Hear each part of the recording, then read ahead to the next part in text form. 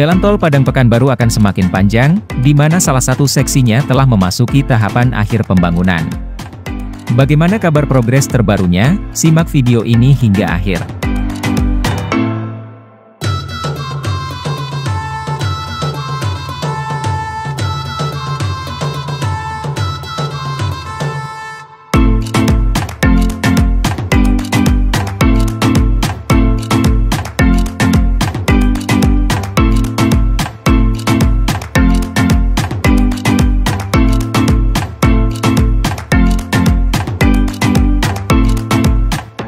PT Hutama Karya Persero atau HK mengumumkan progres konstruksi pembangunan Jalan Tol Pekanbaru Padang, seksi Bangkinang Pangkalan tahap 1, yakni Bangkinang Koto Kampar telah mencapai 88,21 persen.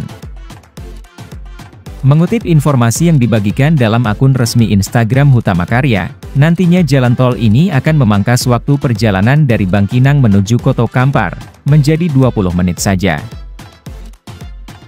Untuk diketahui, jalan tol yang dibangun sejak pertengahan 2019, dengan total panjang 24,7 km ini, rencananya ditargetkan akan tuntas pada akhir 2023. Direktur Operasi 3 Hutama Karya, Kuncoro mengatakan bahwa jalan tol Padang Pekanbaru seksi Bangkinang Pangkalan tahap 1, Bangkinang Koto Kampar, bisa segera dinikmati masyarakat dalam waktu dekat ini. Jalan tol Bangkinang Koto Kampar juga akan dilengkapi dengan jembatan layang, yang dibangun di atas lembah dan menyuguhkan pemandangan alam yang bebas dan asri.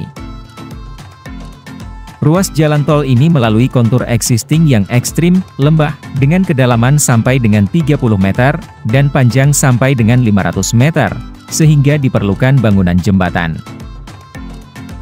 Tinggi jembatan berkisar 20 hingga 30 meter, dan panjang bentang mencapai 60 meter. Ruas ini nantinya dilengkapi tiga jembatan, yang dilakukan dengan metode Unibridge. Jembatan tersebut dinamakan Jembatan Gadang 1, dan Jembatan Gadang 2, berlokasi di Desa Pulau Gadang, Kecamatan 13 Koto Kampar. Adapun jembatan ketiga, yakni Jembatan Alai 1, yang berlokasi di Desa Tanjung Alai, Kecamatan 13 Koto Kampar. Jalan tol dengan jembatan Uni Bridge ini nantinya akan menjadi pertama di Jalan Tol Trans Sumatera, JTTS.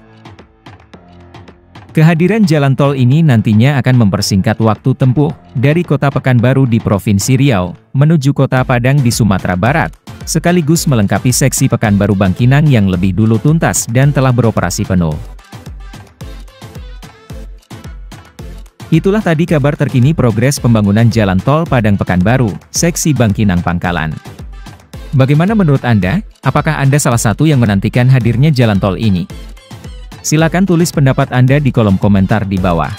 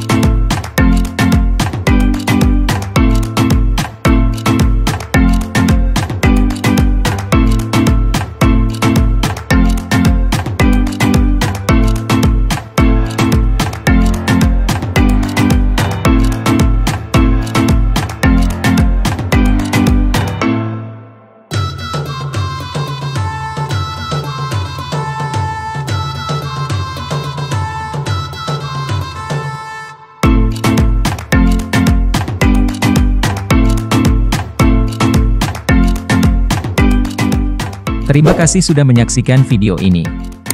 Like jika Anda suka video ini dan dislike jika tidak suka. Dan jangan lupa subscribe lalu nyalakan loncengnya, agar Anda tidak ketinggalan informasi terbaru dari kami.